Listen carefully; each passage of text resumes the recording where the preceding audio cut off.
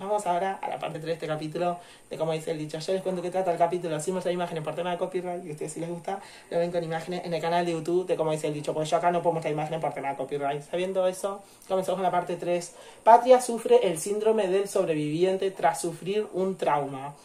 Bueno, les cuento. La madre de Patria quiere que su hija trabaje con ella. ¿Por? Porque ella quiere abandonar el colegio y no quiere hacer nada, no quiere estudiar, porque le dice que se tiene que ir al puesto donde ella eh, coloca Junia a ayudarla. Así que Patria decide ir, pero se ve que la madre empieza a tener hambre después en el trabajo y le pide a Patria que vaya al almacén, pero Patria tiene mucho miedo porque tiene todos estos problemas. Así que cuando va al almacén se empieza a asustar.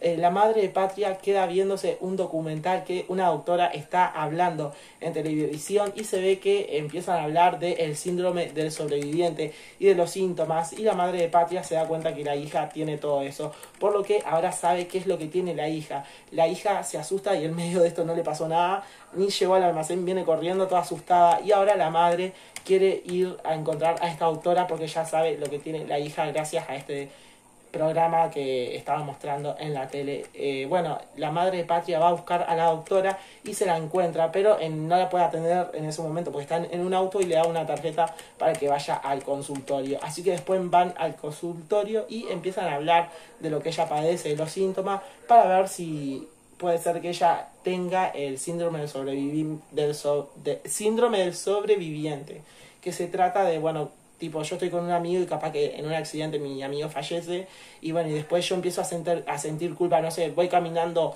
con mi amigo y no sé, cae una, no sé, cae algo, no sé, vengo por un techo, ¿no? Y se rompe un techo y se le cae a mi amiga, ¿me entiendes? Y se termina muriendo, Después yo empiezo a sentir culpa porque, no sé, no, no hice nada y esto, ¿entiendes? Entonces, de eso se trata ese síndrome que la chabona se echa la culpa por todo, pero ella no, no es culpable de que ella estuviese caminando con el novio y pase un loco psiquiátrico y, le dispara. Mm, ya saben la palabra, ¿entienden? Por eso es que la chabona está tan traumada y tiene todos estos problemas. Ahora que sabe que, vamos a ver, si tiene el síndrome de eh, del sobreviviente, puede tipo eh, tratar eso específicamente. ¿Quieren saber si lo va a lograr? Véanse la parte 4 y se los cuento en el próximo video.